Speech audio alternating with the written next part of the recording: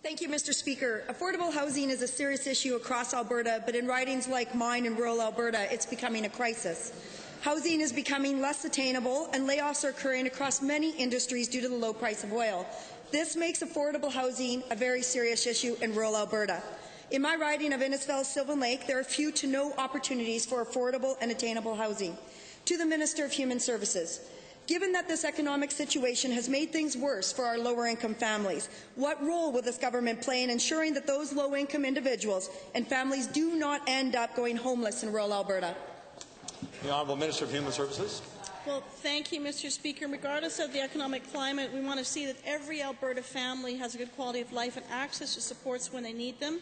Albertans can contact Alberta Supports with knowledgeable staff to help them to find uh, basic needs like base like food, clothing, and shelter, of course, or even health benefits and getting child support payments.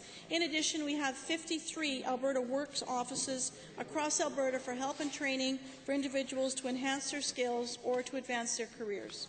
For supplemental.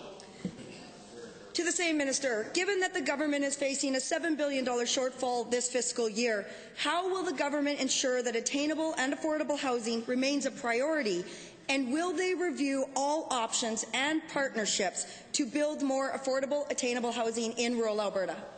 Honourable Minister. Thank you, Mr. Speaker. And we know that more than 10,500 people have received housing wraparound support since the launch of the Housing First program currently working with the Minister of Seniors on a housing strategy, and I think partnerships are absolutely essential. I look at the Alberta Rural Development Network and some of their great ideas. I look forward to working with many partners just like them. Final supplemental.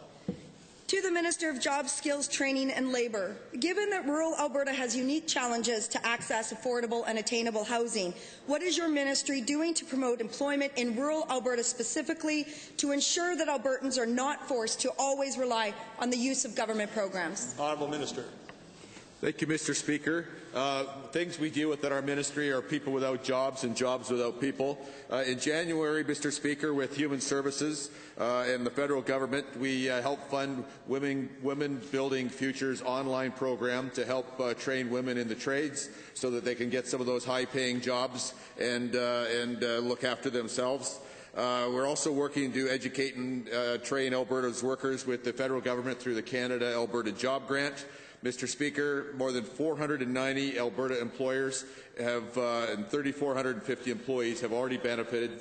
And Mr. Speaker, there's more to come.